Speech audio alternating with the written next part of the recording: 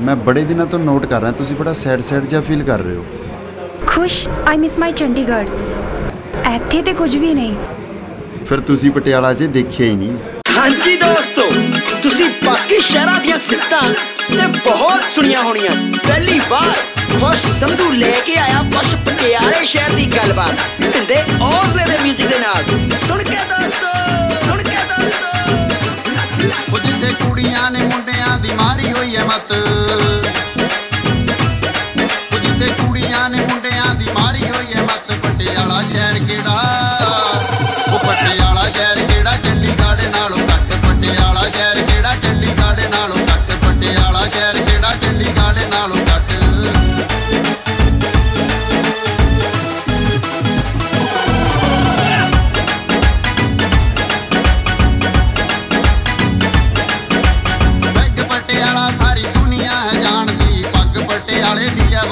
ਪਛਾਣ ਜੀ। ਰੂਪ ਦੇਖ ਕੇ ਪੰਜਾਬੀਆਂ ਦਾ ਪਿੱਛੇ ਜਾਂਦੇ ਹੱਟ ਪਟਿਆਲਾ ਸ਼ਹਿਰ ਕਿਹੜਾ? ਉਹ ਪਟਿਆਲਾ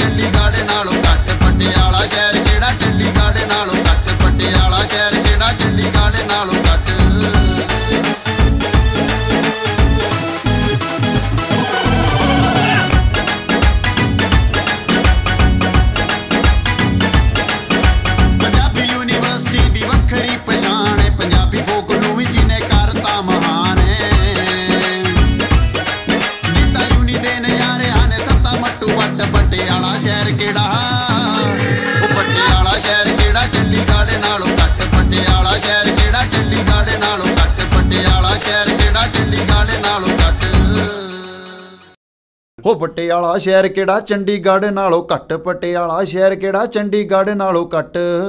ਕਿੱਧਰ? ਓ ਬਾਈ ਸੈਂਡੀ ਅੱਜ ਕਾਲਜ 'ਚ ਮੇਰਾ ਲਾਸਟ ਡੇ ਸੀ। ਨਾਲੇ ਸ਼ਹਿਰ ਲੋਕਾਂ ਨਾਲ ਚੰਗੇ ਹੁੰਦੇ ਆ ਬਿਲਡਿੰਗਾਂ ਨਾਲ ਨਹੀਂ।